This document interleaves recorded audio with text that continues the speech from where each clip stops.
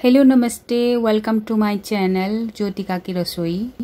आज हम बनाएँगे ब्रेड पकोड़ा। ब्रेड पकोड़ा सभी को पसंद आता है और बनाना बहुत इजी है। मैंने पहले भी ये रेसिपी शेयर कर चुकी हूँ। आज फिर से रेसिपी शेयर कर रही हूँ। सबसे पहले हमने एक बोल में ले लिया है बेसन। ये बेसन हमने डेढ़ कप लिया है।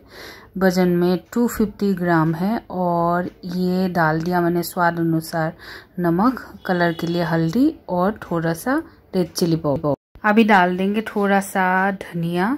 धनिया मैंने काट के डाला है और थोड़ी थोड़ी पानी डाल के हम बैटर बना लेंगे।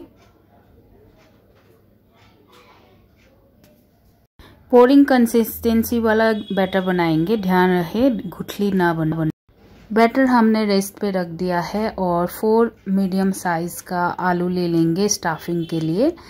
आलू बॉईल करके लिया है। इसमें डाल देंगे लाल मिर्च पाउडर और जीरा powder one four teaspoon one four teaspoon डाला है मैंने। इसके बाद मैं नींबू का रस डाल रही हूँ। इसकी जगह आप अमचूर पाउडर या चाट मसाला डाल सकते हो, चटपटा बनाएगा इससे। और इसके बाद मैं इसमें मिला रही हूँ हरी मिर्च। ये दो हरी मिर्च काट के डाल रही हूँ। मिर्च अपने पसंद के अनुसार डालें।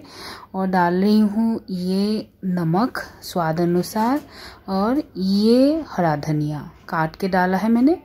और सारे इंग्रेडिएंट को मिक्स करके मैश कर लेंगे। हम लेंगे ब्रेड की स्लाइसेस। एक स्लाइस लेके इसके ऊपर लगा देंगे हम आलू का जो मिक्सर स्टाफिंग तैयार किया था। स्टाफिंग को इस तरह से स्प्रेड कर देंगे। आप चाहो तो इसमें हरा धनिया की चटनी टमाटो केचप के साथ भी लगा सकते हो। और ऊपर इस तरह से ब्रेड लगा देंगे।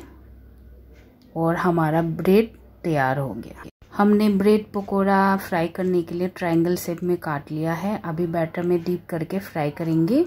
फ्राई करने के लिए ऑयल गरम कर लिया है और बैटर में अभी ब्रेड को डीप करेंगे। अच्छे से लपेट लेंगे।